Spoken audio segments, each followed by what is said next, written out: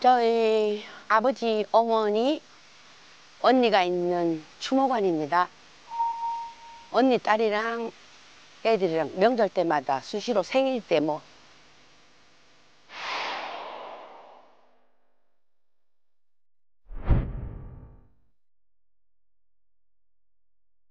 (15년도) (10월) 달에 어머니 가시고 장례식 때 손님들이 보더니 어? 아니 언니 얼굴이 왜 저러지? 얼굴이 되게 아파 보이네. 아, 그때 제가 그때라도 정신이 차려서 빨리 병원에 데려갔으면 그때도 늦었지 모르겠지만 얼굴이 안색이 안 좋네 그래. 그때부터 언니는 나한테 엄마한테 속인 거예요. 몸이 안 좋은 거 알면서 다이어트 한다는 둥 이상한 소리를 많이 나도 그걸 믿고 있었네. 그래서 제가 16년도 1월 11일 날 병원에 데려갔죠. 이상하다 싶어서 갔더니 큰 병원으로 가보라고 그러더라고요. 갔더니 항암 치료해보자 그러는데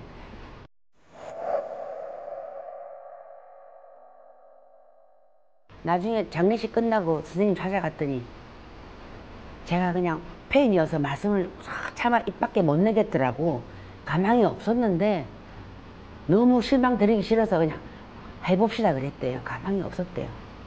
무식할 만치 그렇게 숨기고 병원을 갔다가 아니야 생각하고 겁도 없이 그렇게 놔둔 거예요 혼자 투병한 게 1년이고요 병원 생활 2년하고 그렇게 병원 들어간 지는 5개월 만에 갔어요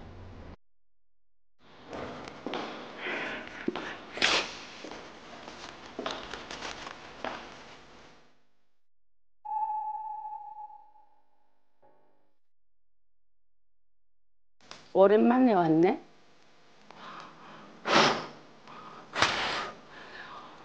언니도 잘 있었지?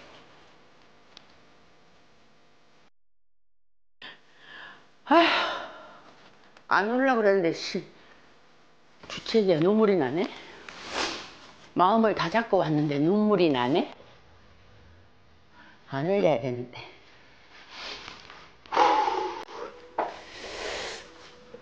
어떻게 보면 태어나서 그렇게 오래 떨어져 본 적은 아마 시간이 없죠. 24시간 태어났을부터 하여튼 붙어 있었으니까요.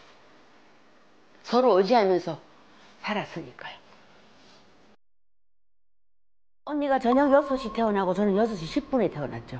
예. 응? 언니가 무슨 말을 해요? 어? 나 지금 그 말 하려고 그랬는데? 뭐 어디 가자 뭐 먹자 어? 나도 싶 말하려고 그랬는데 그런 게 참 많았어요 그러니까 생각이 한 80% 70% 똑같았거든요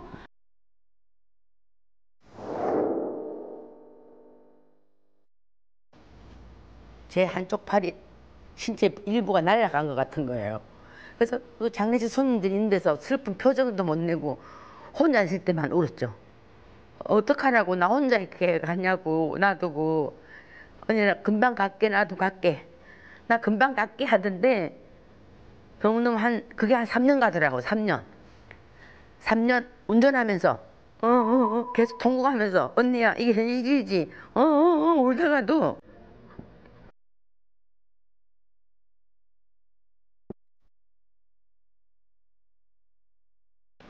그냥 그, 그 즉시에 그냥 따라가고 싶었어요 살기 싫었어요 언니 없는데 무슨 재미로 사나 그랬죠. 언니도 나를, 나를 많이 의지했지만 내가 언니를 더 의지 많이 했었거든요. 언니니까, 형님이니까.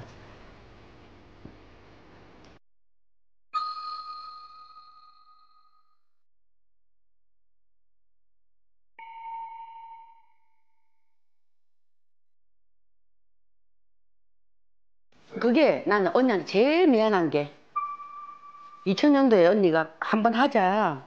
다시 한 번 하자는데 그때는 언니는 애가 다 컸고 하나 있는 딸이 다 컸고 저는 손이 말, 많이 갈 나이였기 때문에 내가 그걸 언니 청을 못 받아들였어요. 언니야 좀 이따 하자 좀 이따 하자. 안 된다 안 된다. 언니는 하고 싶은데 내가 못 받쳐줬죠. 그게 난 너무 미안한 거예요. 또 받쳐줬으면은 또 달라지지 않았을까 그게 너무 죄스러워요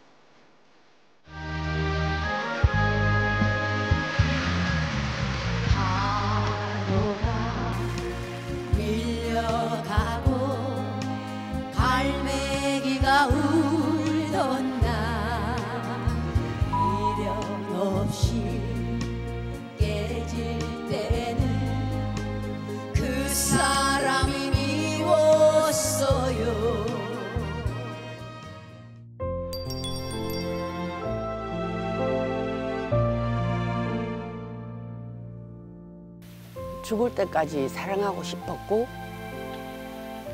내 몸 일부분이잖아요. 한 몸이나 마찬가지. 저 지금 선생님들 눈에는 언니가 안 보이지만 언니가 있죠. 저는 안에 내 마음 안에 언니가 있습니다. 늘 같이 다니고 있으니까 그렇게 생각하면 편해요 마음이. 언니한테 죽을 때까지 내가 갈 때까지 사랑한다 말 전해주고 싶어요.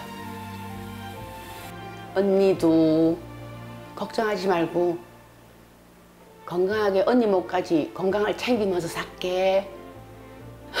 또 보자.